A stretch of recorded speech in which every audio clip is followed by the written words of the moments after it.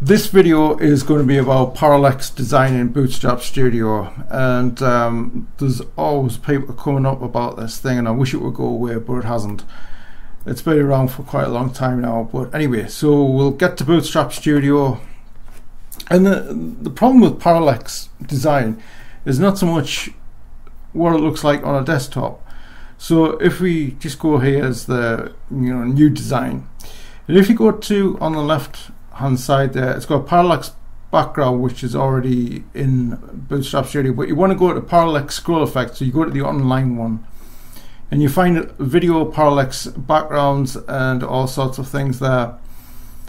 Um, but we just do the parallax scroll effect and it's very easy to do really. Um, you just pop that on there. The images here on the right hand side. So if you wanted to do it yourself all you would need to do is get your own images and name them exactly the same as what they're on there.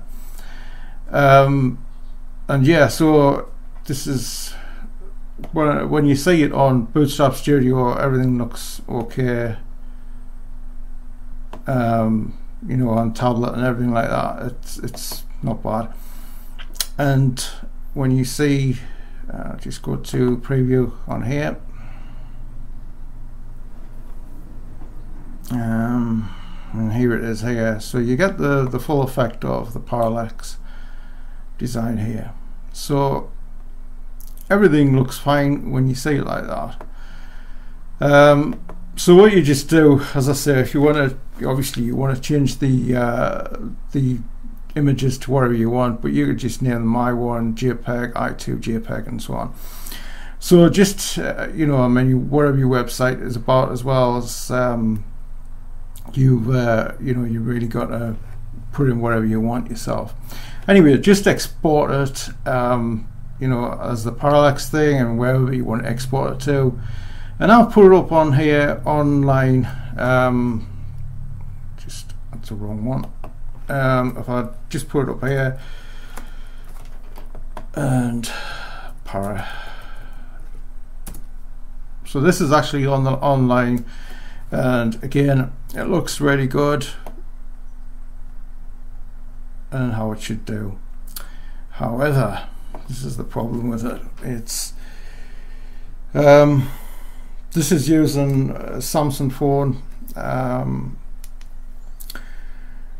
it's not it's not up to bang on up to date or anything like that but this is just showing how like so this would work on here. Okay so here you have um, there.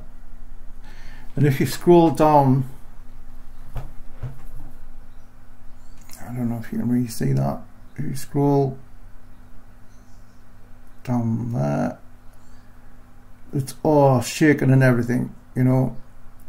So just I'll put the link in the description and if you'd like to look at on the phone um, you know and, and a, uh, mine's a reasonable phone but it, it doesn't it just doesn't work how how it does on the desktop so yeah it's fine if you're going to use um, you know just for desktop but the whole point of Bootstrap Studio is for a responsive web tool that um, you know goes right across the platforms. Um, it, it, would look fantastic, I guess, on TV too, um, and your PC, laptop, maybe even a tablet, but it doesn't work on a phone. And this is uh, my gripe against it, and this is why I've you know like sort of resisted you know people, but see what you think yourself. As I say, I'll put the link down in the description. And again, thanks for watching these videos.